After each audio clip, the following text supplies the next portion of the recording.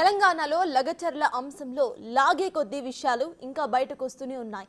October ఇరవై ఐదున తాండాలో జరిగిన సమావేశంలో నిందితుడు సురేష్ హల్చల్ చేశాడు. కాంగ్రెస్ మండల పార్టీ అధ్యక్షుడు అవిటి శేఖర్ను బంధించారు. ఎట్టి పరిస్థితుల్లోనూ వదలబోమంటూ బెదిరించారు కూడా. రంగంలోకి దిగిన పోలీసులు శేఖర్ను విడిపించారు.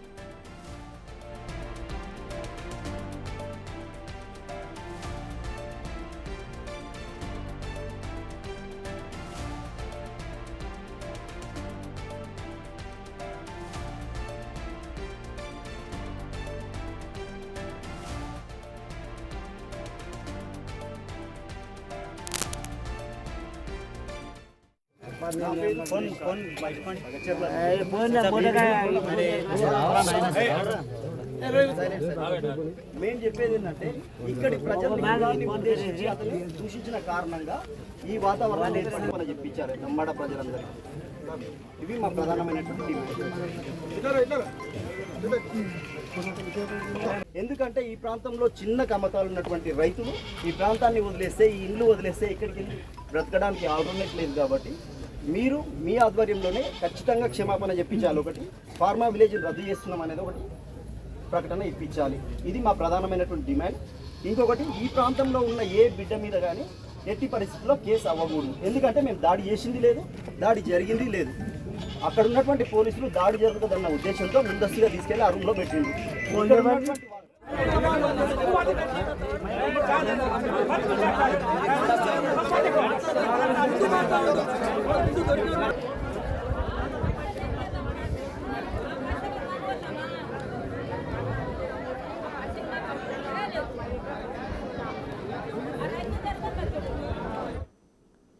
తెలంగాణలో లగచర్ల అంశం లాగే కొద్దీ విషయాలు బయటకు వస్తూనే ఉన్నాయి. అక్టోబర్ ఇరవై ఐదున తండాలో జరిగిన సమావేశంలో నిందితుడు సురేష్ హల్చల్ చేశాడు. కాంగ్రెస్ మండల పార్టీ అధ్యక్షుడు అవిటి శేఖర్ను బంధించారు. ఎట్టి పరిస్థితుల్లోనూ వదిలిపెట్టబోమని బెదిరించాడు. రంగంలోకి దిగిన పోలీసులు శేఖర్ని విడిపించారు.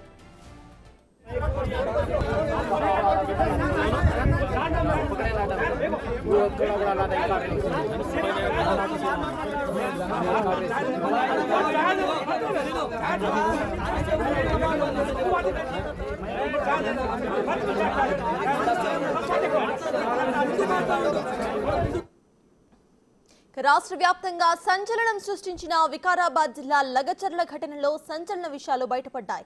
ప్లాన్ ప్రకారమే కలెక్టర్పై దాడి చేశారని కేటీఆర్ ఆదేశాలతోనే అటాక్ చేయించారని మాజీ ఎమ్మెల్యే పట్నం నరేందర్ రెడ్డి రిమాండ్ రిపోర్టులో తెలిపారు. పోలీసులు అయితే రాష్ట్ర ప్రభుత్వాన్ని అస్థిరపరిచే కుట్రలో భాగంగానే పక్కా ప్లాన్ ప్రకారం దాడులకు ఉసిగోల్పారని రిపోర్టులో పోలీసులు పేర్కొన్నారు. తన అనుచరుడు సురేష్ ద్వారా నలభై ఐదు మందికి డబ్బులు ఇచ్చి నరేందర్ రెడ్డి దాడులు చేయించారని వెల్లడించారు. దాదాపు పది పేజీల రిమాండ్ రిపోర్టులో అనేక విషయాలు ప్రస్తావించారు.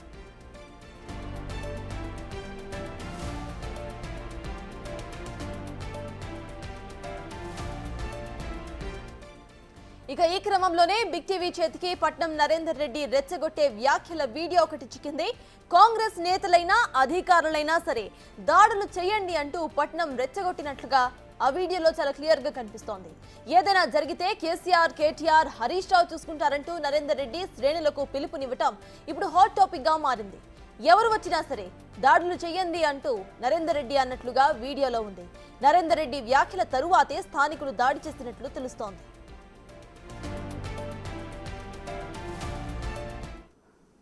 మరి ముఖ్యమంత్రికి ఏం సోయి లేదని అడుగుతున్నాను నేను. ముఖ్యమంత్రి రేవంత్ రెడ్డి గారు ఇక్కడ ఉన్న ఓట్లు వేసుకొని ఈ ప్రజల ఓట్లు వేసుకొని రైతుల ఓట్లు వేసుకొని నువ్వు ముఖ్యమంత్రి గెలిచినావు కదా నీకు ఇంతనైనా సోయి లేదా అని అడుగుతున్నాను నేను. ఎందుకంటే ఈ యొక్క రైతుల భూములు గుంజుకొని కష్టపడి సంపాదించుకొని వాళ్ళు అప్పు తెచ్చి అక్కడ తీసుకొని రెండు ఎకరాలు మూడు ఎకరాలు కొని వ్యవసాయం చేస్తున్న రైతుల భూములు నువ్వు ఫార్మా చేస్తా అంటే ఇప్పటికైనా మేము డిమాండ్ చేస్తున్నాం హెచ్చరిస్తున్నాం.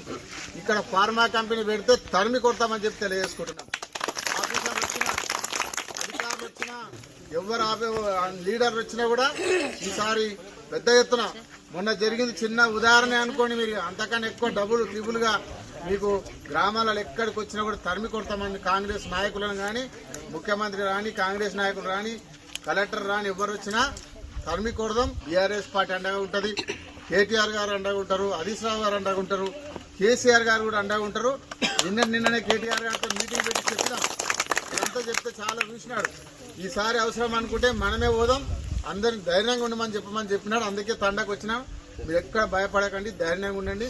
మళ్ళోసారి వస్తే కేటీఆర్ గారిని తీసుకొని మనం ఇక్కడికి వచ్చి పెద్ద ఎత్తున ధర్నా చేసి ఎవరు వస్తారో రాని పోలీసు వాళ్ళు వస్తారా అధికారులు వస్తారా కాంగ్రెస్ లీడర్లు వస్తారా ఎవరు వచ్చినా తరిమి తరిమి కొడదాం. ధైర్యంగా ఉండండి. మొన్న ఎట్లా జరిగిందో అంతకన్నా డబుల్ చేసి చూపిస్తాం కాబట్టి మీరు ఎవరి భయపడకండి. తప్పకుండా ఈ ఫార్మర్ రద్దు చేసే వరకు మేము వెంబడి ఉండి పోరాటం చేస్తామని చెప్పి మీ అందరూ కూడా తెలియజేసుకుంటూ సెలవు మరి మొత్తం వ్యవహారాన్ని వెనకాల నుండి నడిపించిన పట్నం నరేందర్ రెడ్డిని కేసులో పోలీసులు ఏ వన్గా చేర్చారు. నరేందర్ రెడ్డి సూచనల మేరకే ముందుగానే రాళ్ళు కారం పొడి కర్రలు సిద్ధంగా ఉంచారు. అధికారులు వచ్చినట్లు సూచనలు రావడంతో వారిపై దాడి చేసినట్లుగా నిందితులు వాంగ్మూలం చెప్పారు. ఇందులో భాగంగానే పట్నం నరేందర్ రెడ్డిని అరెస్ట్ చేసి కోర్టు ముందు హాజరుపరిచారు పోలీసులు. ఆయన ఫోన్ను సీజ్ చేసి తనిఖీలు చేశారు. సురేష్తో సెప్టెంబర్ ఒకటి నుంచి నవంబర్ పదకొండవ తారీఖు వరకు నరేందర్ రెడ్డి ఎనభై నాలుగు సార్లు ఫోన్లో మాట్లాడినట్లుగా ఫోన్ కాల్ డేటా గుర్తించారు.